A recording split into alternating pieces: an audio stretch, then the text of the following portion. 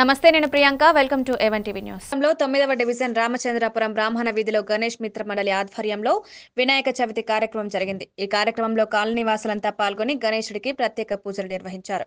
ఈ కార్యక్రమంలో వేణుగోపాల్ ఉషా గుడిప్రసాద్ రెడ్డి సుజాత మోహన్ స్రవంతి తదితరులు పాల్గొన్నారు.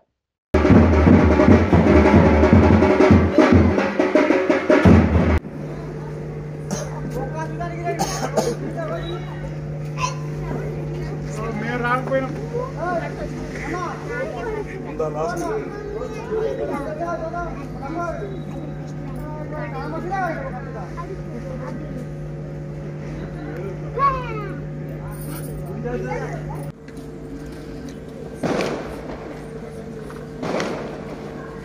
ప్లాన్ చేస్తున్నాం